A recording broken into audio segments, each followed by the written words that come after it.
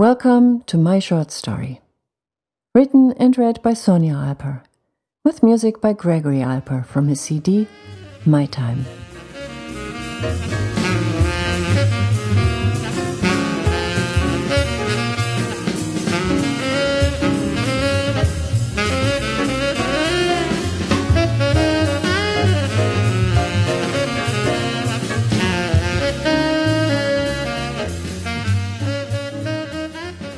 For more information, please visit my website sonjas shortstory.com.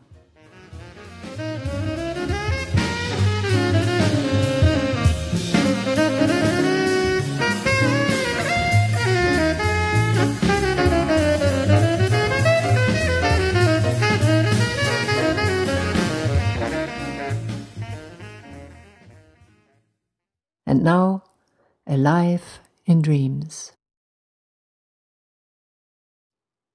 The bedroom is still dark. My dreams hang in the cold air like fog above the riverbank before the sun burns it off.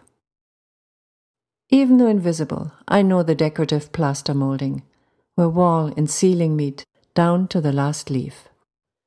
Behind my closed eyes, I imagine the ghostly sheets of fantasy evaporating into the stucco. These are my favorite moments of the day. I envision my life unfolding like a movie and let my thoughts run wild in ever changing scenarios without restrictions. In my dream world, I'm a Russian ballerina, captivating my audience with graceful pirouettes and melancholy eyes.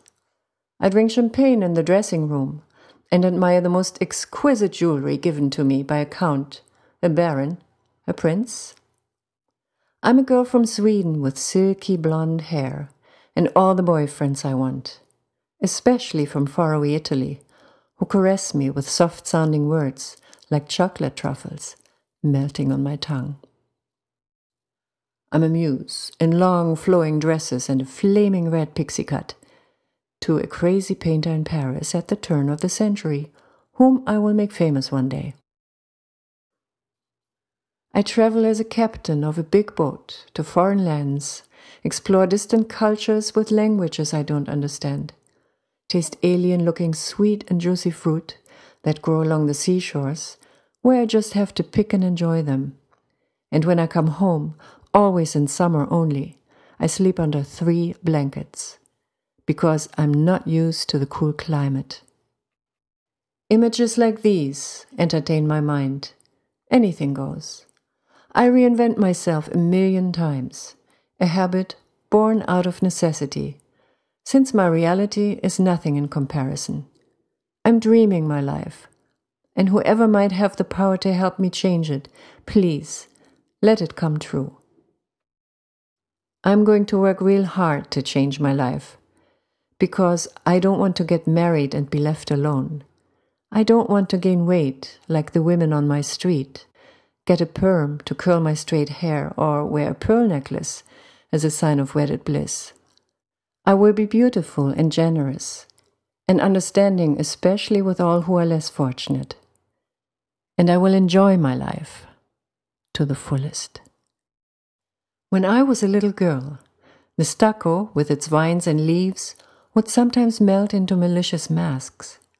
They had the power to tickle my insides without touching me. And the longer I stared at them, the bigger they'd grow, until they'd finally envelop me in a cold embrace. That must be what death is like, I thought. Only here, I'd wake up again. Consisting of distorted faces, these menacing creatures seemed to swim amoeba like, shifting with every blink of my eyes. With index finger and thumb, I forced my eyelids open for as long as possible to keep them from moving, but it was a lost cause. Then I discovered that if I concentrated on something pleasant, they'd either vanish or I would find the strength to leave them behind by running out the room. One image that always worked either way was clear blue skies with white seagulls. It wasn't easy to dream up, but when it finally came into focus, I was free. Exhausted but no longer terrified, I could then fall asleep again. Or I would escape to the kitchen and look out the window into the backyards down below. The big old trees were always there, reliable like a golden retriever or German shepherd. This view brought me back to life, made my heartbeat slow down, and calmed me. Only when I was too scared to move and my eyes wouldn't stop blinking because I was afraid that the faces with their wide open mouths would swallow or suffocate me, only then had I no choice but to wait it out. Mesmerized and appalled at the same time at seeing what was happening, I asked myself if it was happening. Did it happen in reality or in my mind only?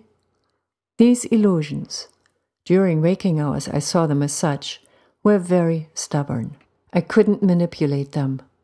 They seemed to exist in some other dimension, out of my reach of fantasy, and yet they found their way into my innermost self. Funny thing was that they sometimes smiled. But even though that would put me at ease for a moment or two, and I did want to believe them, I never trusted them. They are there now, haunting me, exposing my secret thoughts, Humiliation and emptiness fill my stomach, extending to my spine, crawling up and icing me until I'm unable to move. Only I have to face them. It is time to get ready for school. Eventually, like diving from a cliff into unknown waters, I manage to liberate myself and leave the horror behind.